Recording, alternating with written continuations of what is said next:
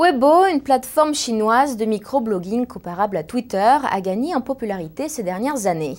Les internautes l'utilisent pour apporter certains événements et exprimer leurs opinions, souvent contre les directives officielles. La popularité de Weibo et son influence ne sont pas passées inaperçues du régime chinois, qui a pris ses mesures habituelles de censure.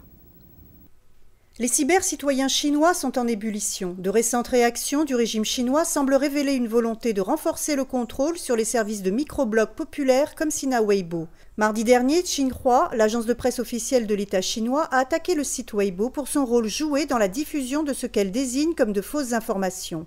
L'agence soulignait la nécessité de redoubler les efforts pour nettoyer, je cite, les rumeurs toxiques circulant sur les sites web. La semaine dernière, un haut fonctionnaire du Parti communiste a incité Sina Weibo à réguler son contenu en ligne. Alors que cette demande semble viser la circulation de prétendues rumeurs, les blogueurs chinois craignent qu'il s'agisse en fait de reprendre la main sur la liberté d'expression.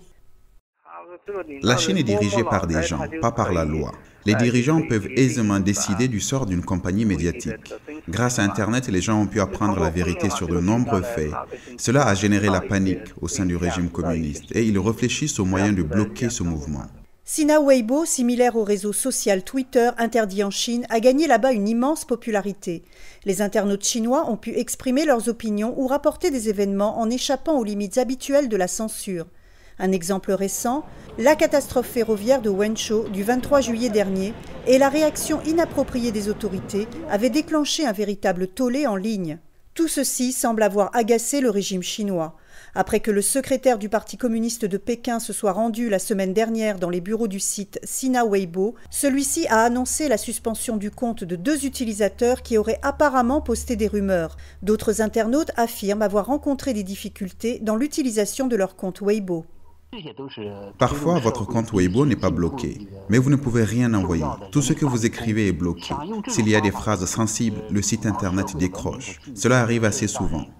Certains commentateurs doutent qu'une tentative de contrôler les microblogs puisse aboutir. Que le contrôle vienne du régime ou d'ailleurs, ces tentatives ne pourront pas bloquer véritablement la liberté en ligne. Le public trouvera des moyens de contourner la difficulté. Après tout, de nombreuses personnes travaillent à faire tomber ce mur de Berlin et à détourner la censure des informations. La Chine compte la population d'internautes la plus importante au monde, avec plus de 480 millions d'utilisateurs en ligne. 200 millions d'entre eux utilisent Sina Weibo ou d'autres formes de microblogs.